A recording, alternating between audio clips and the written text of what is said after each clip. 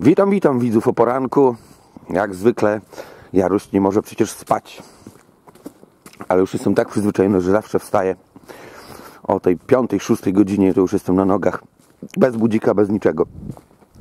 Więc na początku pewnie niektórych boli głowa jeszcze, a inni śpią, a inni jeszcze nie wytrzeźwieli do końca, nie? Natomiast na początek to chyba złożę Wam najserdeczniejsze życzenia w tym nowym roku, bo należy Wam się za tą pracę, którą no, żeście wyrobili, no, żeście poświęcili czas na to wszystko. Swój własny. I nie tylko czas, co po niektórzy. Mam nadzieję, że się opanuje z tym, z Katarem.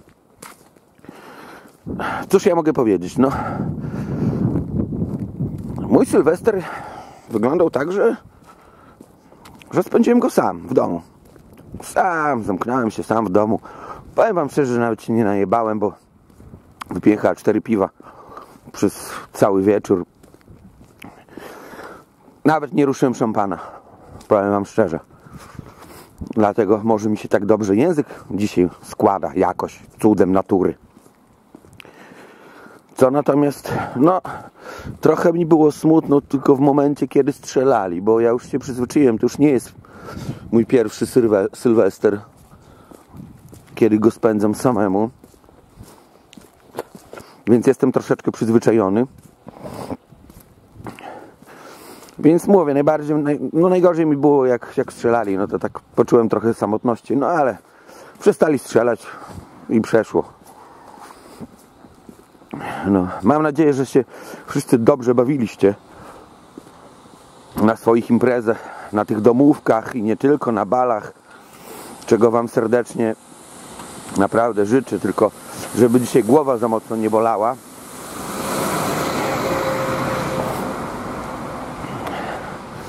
Bo trzeba będzie coś brać od bólu głowy. Mówię to do facetów, chociaż kobietom też głowa może boleć. Zależy kto co i ile. Także mówię, ja przeżyłem tego Sylwestra sam, w samotności. Nie jestem z tego dumny, ani nie jestem zadowolony, no ale wyszło jak wyszło, trudno. Cóż dalej mogę powiedzieć? No, mam pewne plany, które jak wypalą, to będzie za super, no będzie, już nie chcę się, no nie chcę się rugać już w ten nowy rok, no ale bym powiedział, że będzie będzie super, no, jak to się wszystko uda. Ale na to trzeba trochę czasu. Co do live'ów, nie spieszy mi się z tym, bo nie chcę, żeby ktoś potem powiedział, taki na przykład pan K, pan KK, fajnie się rymuje nawet, KK, że ja go okradam z pieniędzy i tak dalej, także nie liczę od was. Jeszcze nie oglądałem, co oni tam ponagrywali, ale za chwilę obejrzę. Pewnie się będę musiał do tego odnieść. No, wiem, że panowie już są w koziej dupie. To wiem na pewno. Że to tylko kwestia czasu. A i no słuchajcie, no pierwszy raz miałem taki efekt, że w przeciągu tygodnia złapałem cztery osoby na, cztery osoby na oszustwie wobec mnie. nie będę tu wymieniał, bo mnie już to kurde, naprawdę widzowie mnie to śmieszy, nie? Nie będę wymieniał tu kto, kto powinniście się domyśleć. Ale no cztery osoby złapałem. Nawet niechcący jedną, jedną osobę wczoraj. O Boże, ludzie. Chciałem właśnie powiedzieć, że nie kłamcie nigdy, bo kłamstwo ma krótkie nogi, szybko wychodzi. Bo im bardziej będziesz kłamał, tym bardziej się będziesz zagłębiał i w końcu i tak to wyskoczy i tak, z podwójną siłą. A jak już kurde starasz się kłamać, to rób to kurde profesjonalnie, tak żeby się nie wydało. Natomiast no to po niektóre osoby, no to po prostu mnie, no roz, mnie już to rozbawiło, mówię wam widzowie, rozbawiło mnie to totalnie. Ja nie jestem nawalony teraz ani nic, nie? Tak, żeby nie było, czemu się śmieję tak, no. Ale po prostu, no, nie no, rozbawiło mnie to. Ale to już na maksa mnie to rozbawiło. O Boże Święty. Czasem wystarczy nie tu wcisnąć, nie to wcisnąć. I wszystko wychodzi na jaw. Lub nie tak się wypowiedzieć na jakieś tematy. I też od razu wychodzi na jaw. Cały czas mi zarzucają, że tylko Paypala odpaliłem.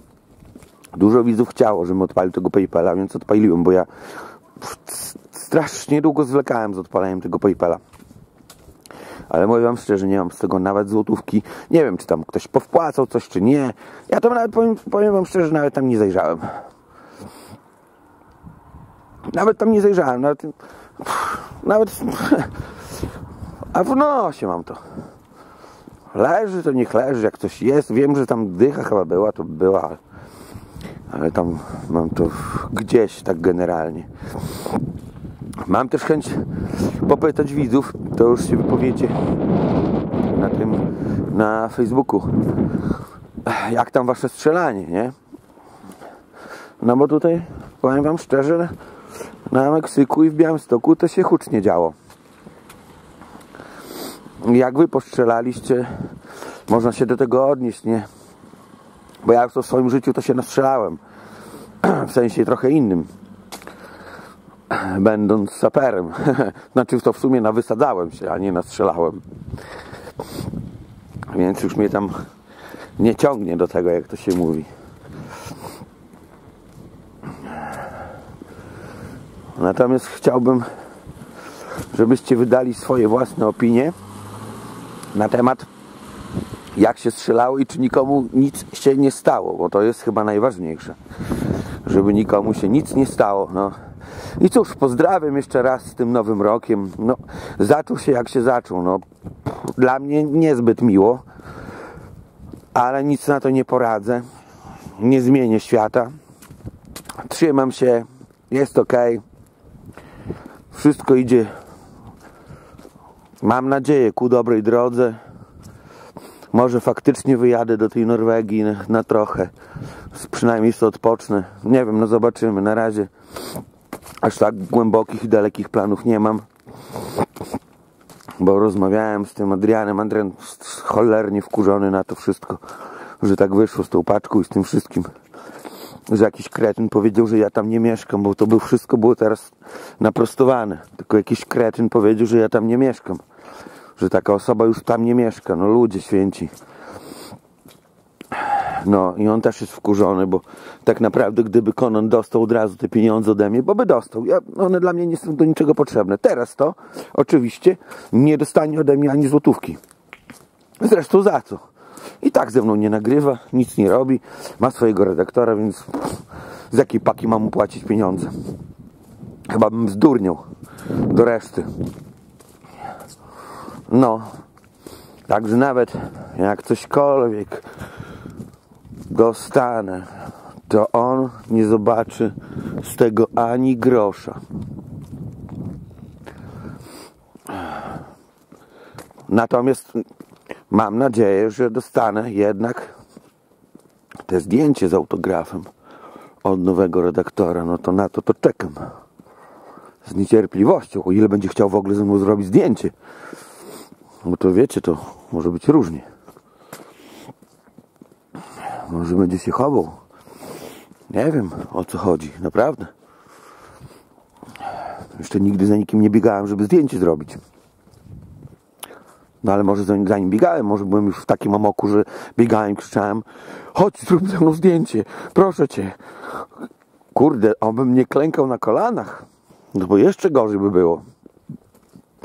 To już się do tego wtedy bym nie przyznał, musiałbym kłamać. Że takiej sytuacji nie było. No, także jakoś tam przyszłość się klaruje powolutku. Zaraz tu się zacznie sezon, potem nie wiem, naprawdę nie wiem, zastanawiam się, czy nie skoczyć do tej Norwegii na początek, na chwilę. a potem zobaczyć, czy jak wszystko będzie w porządku, to czy tam sobie nie popracować, zarobić dobrą, znaczy dobrą, no to już Boże, dobrą to może przesadzone. No ale na pewno lepszą niż w Polsce kasę. Więc się zastanawiam, no jeszcze jest jedna opcja inna, ale nie chcę jej zdradzać, nie chcę zapeszać.